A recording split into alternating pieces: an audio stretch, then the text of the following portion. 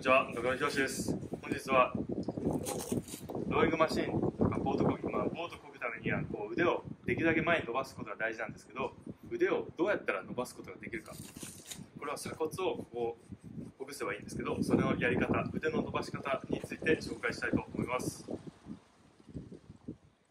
えっ、と、ボート競技は、えっと腕を伸ばすのが大事なスポーツなんですけど、鎖骨ちょっと右の鎖骨をちょっと触ってみてください。はいあそうそうそこをこうもみもみしてなでなでしてで鎖骨の上がと特に上かな？がこう指が入るように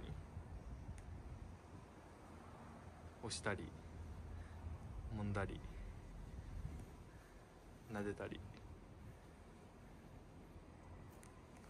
ティティティティちょっと貸し？てはいちょっと襟がはいちょっとはいそうここでこはいこうちょっとクシクシクシクシクシいや。いやそんなにだけしてない撫でてるだけじゃん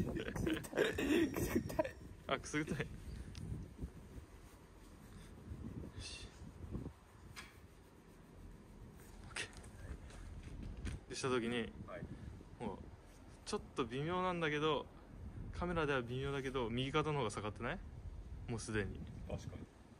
なんか右の力が抜けた感じはしますね、で手伸ばした時にはい。両手ちょっと伸ばして。はい。あ前前前前前へ習えみたいな。そしたら右手の方が前出てない？あ本当だ。本当だ。本当だ。本当だ。本当だ。確かに。そうそう。だから鎖骨がここが硬いと腕腕伸ばす時に鎖骨はこうくるわけよ。はい。で腕も伸びるんだけど鎖骨が動かないと本当こう腕だけ？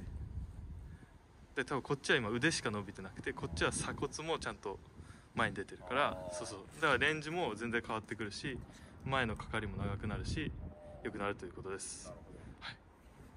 なるほだからそう反対側もやっててください。どはい。以上になります